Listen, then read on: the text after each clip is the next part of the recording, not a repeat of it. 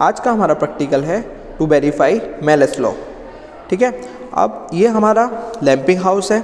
इसके सामने हमारा ये कोएक्सियल पोलरॉइड है और ये हमारी सर्कुलर टेबल है और इसमें एक ग्लास लगा हुआ है। ठीक है?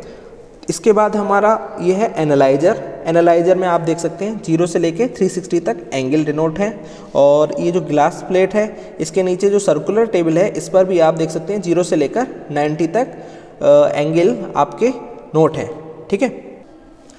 हमारे लैंपिंग हाउस से अनपोलराइज लाइट निकल रही है, जो कि बीच में लगे पोलराइड से पोलराइज होती है। अब इसके बाद हमें क्या करना है? ये जो हमारी ग्लास टेबल ग्लास लैंप लगा हुआ है सॉरी ग्लास लगा हुआ है, इसमें ज़ीरो डिग्री ज़ीरो डिग्री पर आपको ये लाइट देखनी है और एनालाइजर को सेट करना है किसी एंगल पर, जिस पर करंट मैक्सिमम हो।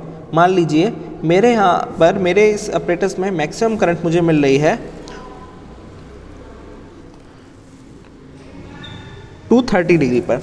230 डिग्री पर जो मैक्सिमम करंट है हमारे पास, वो आ रही है one seven one thirty seven ठीक है?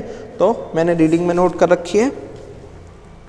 वन थर्टी सेवन ठीक है? इस तरीके से एक टेबल बनेगी आपकी। एंगुलर पोजीशन है आपकी एनालाइजर की 230 डिग्री। और रिलेटिव एंगल है आपका ज़ीरो मैक्सिमम करंट आ रही है हमारी 137 अब इससे हमने पी निकाल लिया आई अपॉन आई मैक्सिमम इस समय मैक्सिमम करंट भी एक सौ सैंतीस है और जो करंट आई है वैल्यू वो भी एक है। तो और इसके बाद मैं निकालूँगा इसका कॉस स्क्वायर थीटा अब मुझे क्या करना है? अब मुझे इसे रोटेट करना है।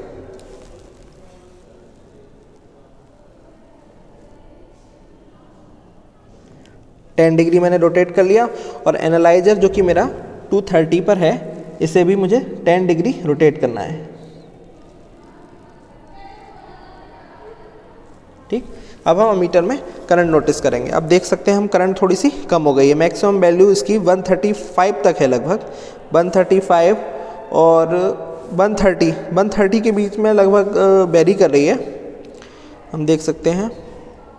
एक्चुअली ये जो प्रैक्टिकल है, ये डार्क रूम में होगा क्योंकि अगर हम यहाँ करते हैं तो उससे लाइट की वजह से थोड़ी सी करंट एक्स्ट्रा आएगी, ठीक है? तो हमारी जो करंट की रीडिंग है, लगभग लगभग 134 135 इसके आसपास आ रही है। तो ये रीडिंग हम इसमें नोट कर लेंगे ये